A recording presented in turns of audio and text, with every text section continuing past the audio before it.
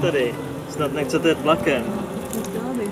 Tady přece už dávno nic nejezdí. Tak kam chcete? Domů. Tak pojďte, já vás vezmu. Super.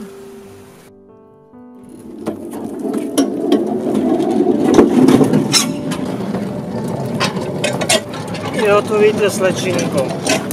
Tu trať zrušili před pěti lety.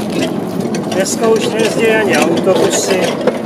Ti, co jsou nahoře, je ty, co jsou dole, absolutně nezajímá. Tak to dneska je, je taková je doba.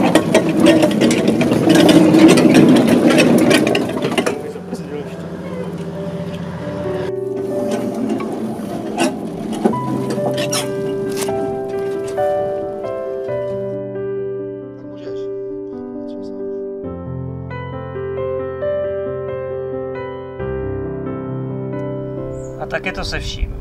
Doprava nefunguje, autobusy nejezdí, zdravotnictví chceme dát do nadnárodních rukou. Kulturní památky nám padají na hlavu. A ti nahoře jenom slibují.